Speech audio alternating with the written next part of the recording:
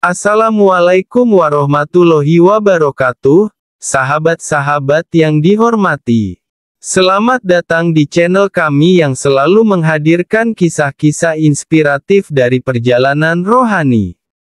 Pada video kali ini, kita akan mengulas kisah seorang wanita cantik yang awalnya membenci agama Islam, tetapi mengalami transformasi yang luar biasa setelah melihat teman-temannya yang sering sholat. Mari kita saksikan bersama perjalanan rohaninya yang menakjubkan.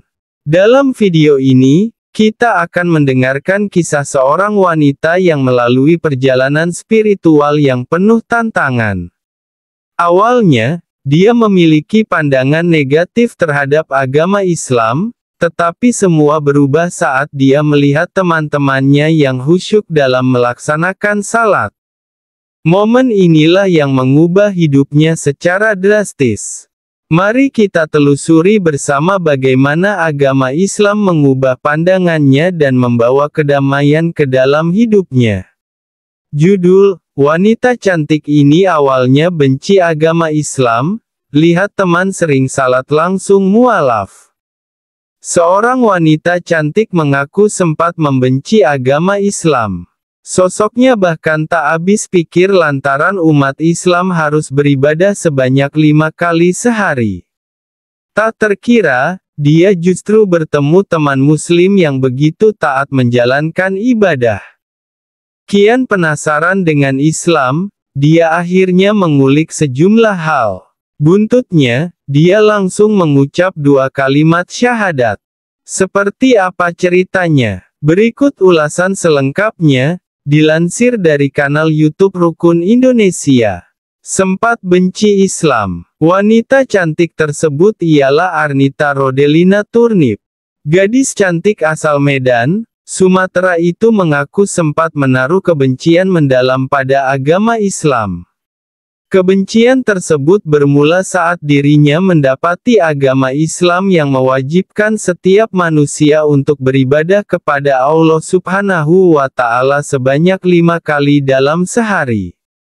Menurutnya, hal itu begitu menyulitkan manusia yang hidup di muka bumi dengan sederet urusannya. Dulu saya benci banget sama Islam.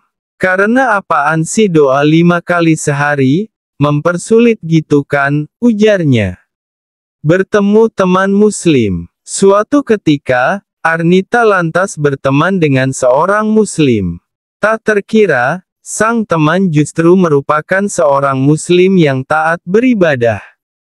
Perbincangannya dengan sang teman pun sering kali diliputi banyak perdebatan.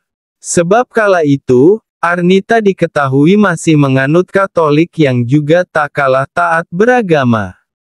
Ketemu teman, jumpa sama saya yang dari Katolik juga, kita jadi ibarat kayak kutub utara dan selatan, katanya. Seringkali, Arnita lantas menjumpai sang teman yang terus melakukan ibadah salat.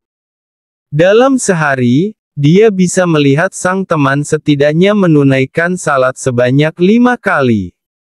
Resah melihat sang teman, akhirnya Arnita mulai penasaran dengan agama Islam. Dia lantas tertarik mengulik sejumlah hal melalui perspektif agama Islam. Salah satu sumbernya, dia menyebut Zakir Naik. Selama kurun waktu yang cukup lama, Arnita menyibukkan diri untuk menonton video dakwah milik sang ulama terkenal.